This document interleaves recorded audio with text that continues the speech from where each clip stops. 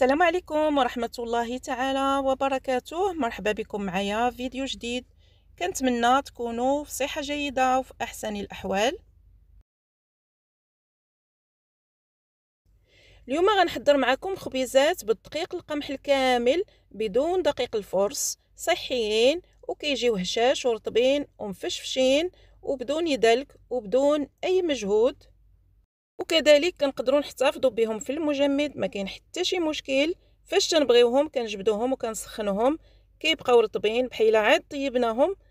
صراحة هاد الخبيزات كيجيو رائعين كنتمنى أن الوصفة تعجبكم وتحضروهم ندوزو نتعرفوا على المقادير وطريقة التحضير. بالنسبة للمقادير لهاد الخبيزات إن شاء الله مع التعود غادي يولي عندكم القياس عينكم ميزانكم وتقدروا تخلطوا الأنواع ديال الدقيق اللي نتوما كترغبوا فيها واللي موجودة عندكم.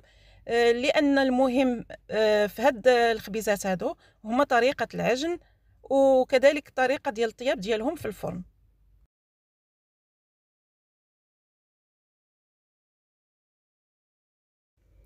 بالنسبة للعبار اللي أنا استعملت في هاد الخبيزات جوج زلايف آه، متوسطين دقيق القمح الكامل اللي غربلته من قبل حيت منه النخالة الغليظة خليت غير رقيقة. جوج زلايف تقريبا واحد 500 غرام. كنضيفو كذلك كاس دقيق الفينو اللي هو دقيق القمح الصلب تقريبا كاس 150 غرام ومعلقة صغيرة من الملح. كنخلطو النواشف مزيان. من بعد كنضيفو معلقة كبيرة من العسل اختيارية. إلا بغيتو ما تضيفوهاش ماشي مشكل. يعني آه، العسل كيعطينا غير داك اللون. اللي كيجي خبيزات كيجيو محمرين. كنضيفو كذلك معلقة كبيرة زيت الزيتون. بالنسبة لزيت الزيتون هو اللي كيرطب لينا هاد الخبيزات. معلقة كبيرة عامرة. ومعلقة كبيرة خميرة حبيبات أولا الخميره المعجونة على حسب اللي متوفر عندكم. وكنخلطو بالماء. بالنسبة للماء ضروري ضروري ما يكون غير دافي باش ما يهرش لينا الجهد ديال الخميرة. وكذلك دقيق القمح الكامل ما كيبغيش الماء سخون. بالنسبة لدابا الجو سخون نقدروا نستعملوا غير الماء الروبيني. ونخلطو بيدينا كيف كتشوفوا معايا. وحنا كنضيفوا الماء بشوية بشوية.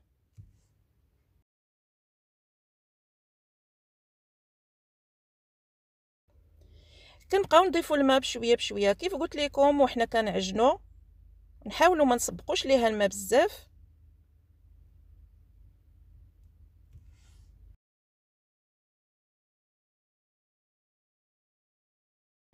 كنستمروا حتى كنحصلوا على واحد العجين اللي رخو ورطب وكيتلصق في اليدين.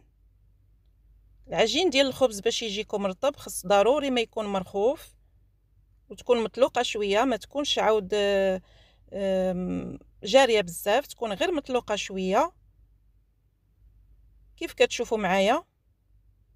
حتى كنحصلوا على داك الجهد اللي بغينا وكنتوقفوا من إضافة الماء.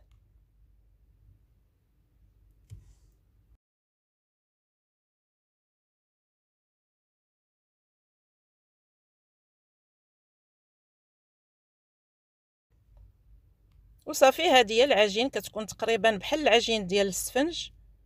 كتكون آه، عجين رخو ورطب وكيتلصق في اليدين.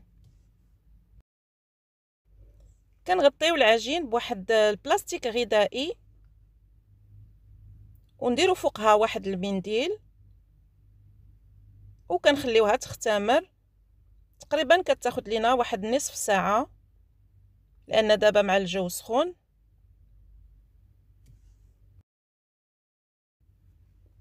حتى كيتضاعف الحجم ديالها.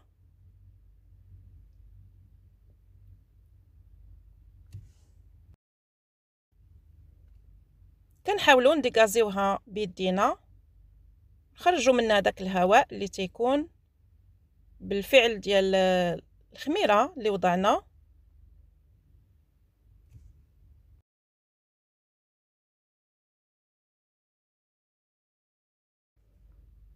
من بعد كنرشوا سطح العمل بالقليل من الدقيق الكامل. وكنوضعوا العجين ديالنا.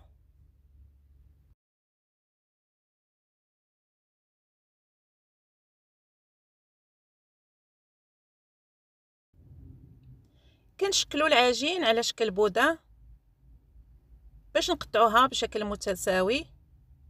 كيف كتلاحظوا معايا العجين كيتلصق؟ كنحاولوا نستعنوا بالدقيق.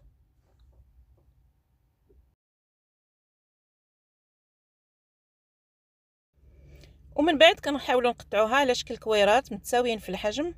تقريبا أنا عطاتني عشرة ديال الخبيزات صغار. وأنتم كيبقى لكم الاختيار إلا بغيتوهم كبارين اولا صغارين من هذا الحجم كتقطعوهم على حسب الرغبة.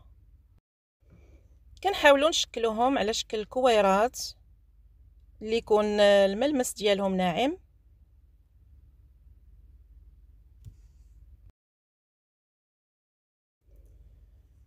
وبالنسبة للتزيين أنا اختاريت هنايا البافو والجنجلان إلا كان الأبيض من الأحسن. أنا استعملت الزنجلان العادي حيت هو اللي كان متوفر عندي والقليل من الشوفان رقائق الشوفان والماء.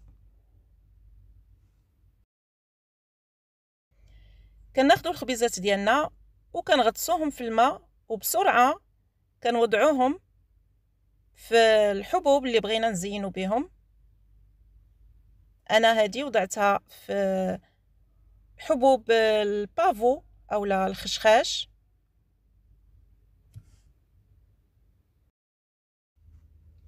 كنستمروا بنفس الطريقة أنا غادي نعاود معكم واحدة أخرى. كناخذوا خبيزة كنوضعوها في الماء وبسرعة. كنوضعوها في الحبوب إما الخشاش اولا الجنجلان اولا رقائق الشوفان. وكنحاولوا نقادوها من الجناب. وكنوضعوهم مباشرة في صفيحة اللي كتدخل الفرن. مفرشة بورق الزبده اولا مرشوشة بالدقيق. بلا ما نحاولوا نقرصوهم باش كيبقاو محافظين لينا على الشكل ديالهم. أما إلا كنتو كتبغيو الخبيزات رقاق وما تجيش فيهم ديك البابة كثيره فاش كنوضعوهم فوق الحبوب كنحاولوا نضغطوا عليهم غير شي شوية. باش نرقوهم شوية ومنها كيهزوا كمية وفيرة من الحبوب. كيجي الشكل ديالهم كيف كتشوفوا معايا. وهذا هو الشكل ديالهم من بعد ما كملنا الخبيزات اللي عندنا كاملين.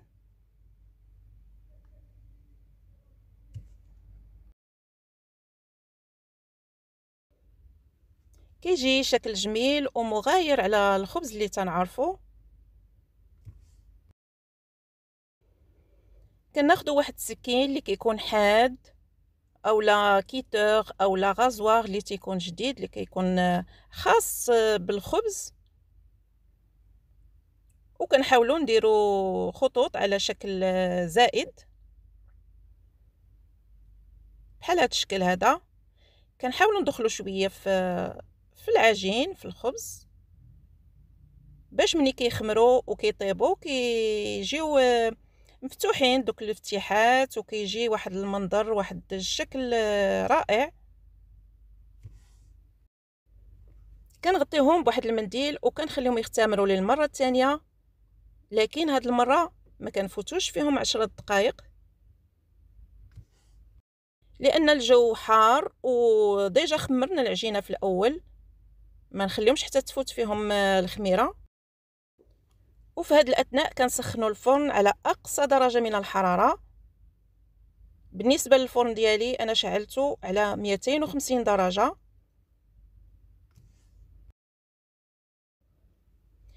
باش دغيا كيطيبوا ما كياخدوش وقت في الفرن وكيجيونا رطبين ومفشفشين هذا سر من الأسرار كذلك. إلا بغيتوا الخبز ديالكم يجيكم رطب واخا ما دايرينش فيه دقيق الفرص ندخلوا الخبيزات ديالنا للفرن. كياخدوا تقريبا واحد 15 دقيقة حتى ل 20 دقيقة ماكسيموم في الطياب. وبالنسبة للفرن راه كل سيدة كتعرف الفرن ديالها لأن الفرن كيختلف من من واحد لواحد. غير يبان لينا اللون ديالهم الذهب وكنخرجوهم ما نخليهمش حتى كيقصحوا وكتشربهم العافية باش يبقاو رطبين وما يجيوناش قاصحين. وهادو هما الخبيزات من بعد ما خرجتهم من الفرن كيجيو على هذا الشكل.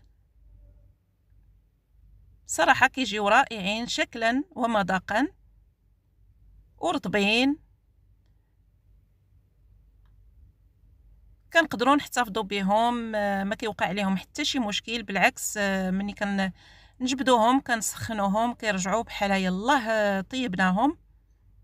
كيجيو رائعين صراحة كنقدروا نقدموهم للضيوف ديالنا.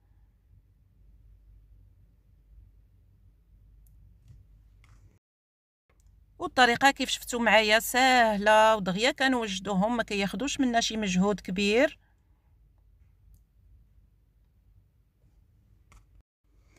كنتمنى الفيديو ديال اليوم ينال إعجابكم وتبارطاجيوه مع الحباب والأصدقاء ديالكم.